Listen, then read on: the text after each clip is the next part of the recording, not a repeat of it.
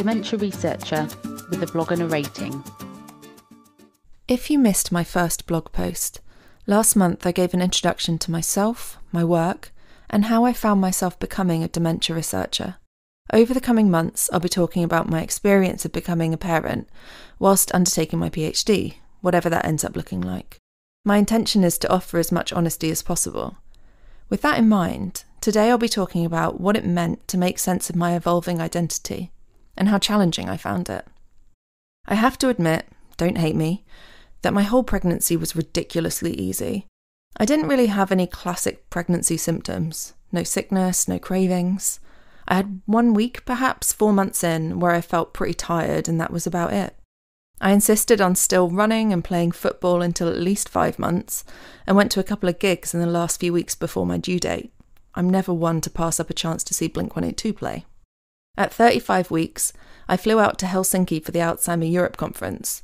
The physical side of things, which I had anticipated being pretty full on, was such a breeze.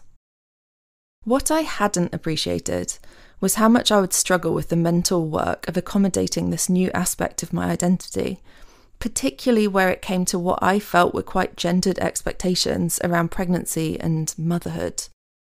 When I told my family that I was pregnant, one very well meaning person asked when I'd be moving out of London, an unsuitable place to start a family, and gently suggested that my priorities would need to change, so it might be a good time to quit my PhD.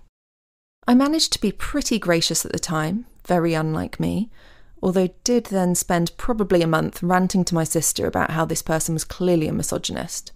I'd like to think I'm now over it. When my parents visited from overseas shortly thereafter, my mum innocently asked whether the university would be open to me studying part time on my return. Sadly, by this stage I was primed to bite, so demanded to know whether she had asked the same question of my husband, whether his employer would allow him to work part time, and then also accused her directly of being a misogynist. Sorry, mum. In the autumn, my husband and I attended some antenatal classes. One week, we were given a series of questions to discuss. Some example questions with accompanying answers people actually gave are as follows Question What do you think an average weekend will look like a year from now? Answer Staying at home, protecting our furniture from our toddler. Question How might your relationship with friends or hobbies change? Answer there will be a time for friends and hobbies, and that time is not now. I was suitably alarmed. I found it interesting that when the question, How will you ensure a work life balance, was asked, this seemed to be taken as a question for the fathers in the room. As such, only the men offered their opinions. I understand that in the UK the norm is still for maternity rather than shared parental leave to be taken, and in my case, unfortunately, this was the only option available. But surely a woman's work life balance can also factor into the equation. I have to admit, after the session, I cried.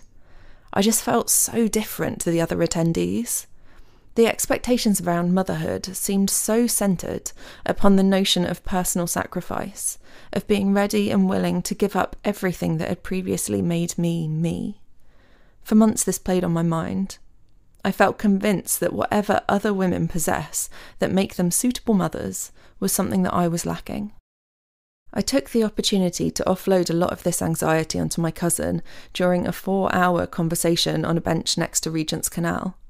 The crux of the conversation was my overwhelming discomfort with becoming a mother, with everything that seemed to imply. My identity is kaleidoscopic, multifaceted. It is constructed from so many things. I love to read, to run, to play football, badly. I'm a singer, a guitarist. I love independent cinema, playing board games. I'm close to my family, loyal to my friends. And my work, my work is so important to me. It gives me such a sense of accomplishment, such a sense of pride. In honesty, a lot of my self worth comes from my work.